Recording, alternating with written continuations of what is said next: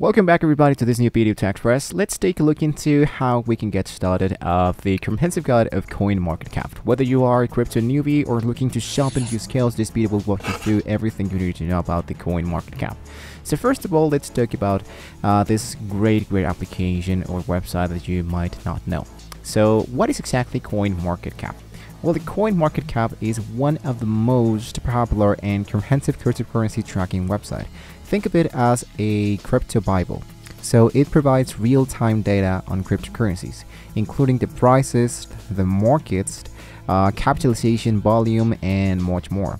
It's a crucial tool for anyone involved into the crypto space. So let's explore the key features and functionalities of CoinMarketCap so you can get the most out of it.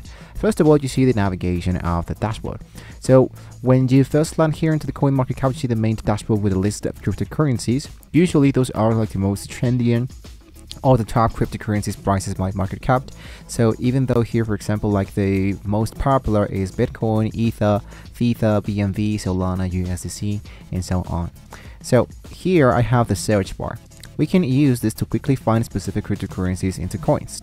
You can go from ranking, categories, global charts, historical snapshot, Bitcoin, ETFs, and token unlocks. I have leaderboards, NFTs information, and on-chain data.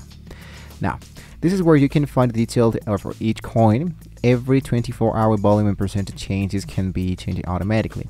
Now, we can analyze a few changes from the centralized exchange spot, derivative, and decentralized exchanges.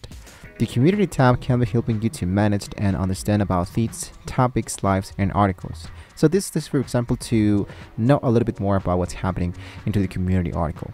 Now um, here this is told a cryptocurrency converter for example. I'm gonna go here for products. You have the converter.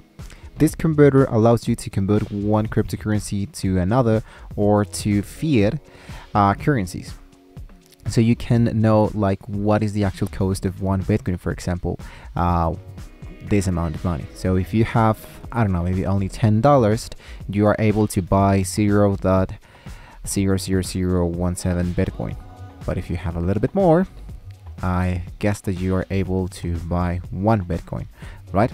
So this is going to be really uh, helpful I have cryptocurrency conversion, for example, from one token into another one if you want to do some popular conversion that people does.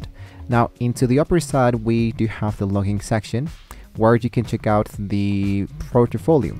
Now, the portfolio is a place where you can manage your own portfolio to keep track of your investment and performance. You have to do um, any process of creating an account with different accounts, make the merge and all of that. So you can just go directly into create your portfolio, sign with an actual free account. You can go from Google account, we can go from um, Binance, whatever. In this case, I'm going to go for my Gmail account, which I already have an actual account. I'm going to sign in and we can just start by managing your main portfolio. So after you hit into you add your main portfolio, you can go into add transaction and you can just specify transaction you have done uh, somewhere else, for example, into Binance or into Coinbase. Let's see, for example, here into Binance, I just bought um, $15 of it. Price per coin. I'm gonna go for zero. The this is the amount of money that I currently have, right? So I this is the amount that I just bought.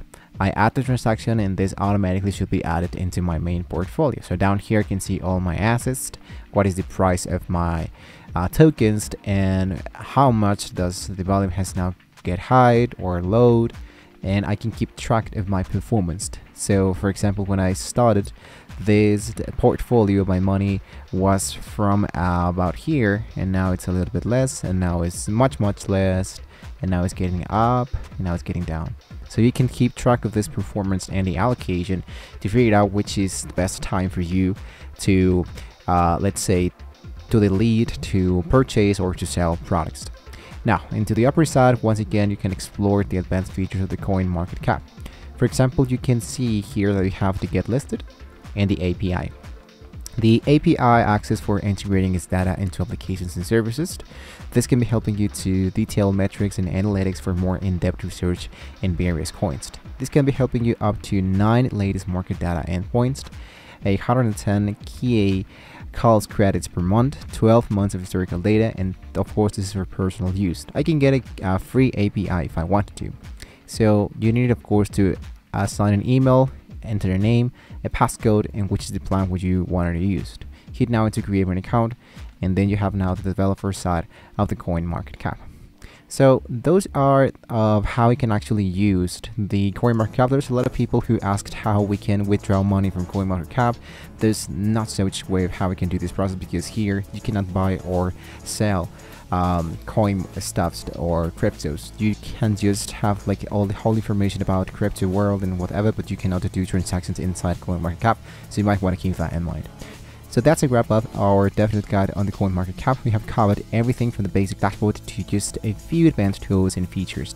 So if you found this tutorial helpful, don't forget to like, subscribe, hit the notification bell for more tech tutorials and crypto guides. Have any questions or suggestions for future videos, you can drop them into the comments below. Thank you once again so much for watching the video guys. Hopefully we can all see you next time.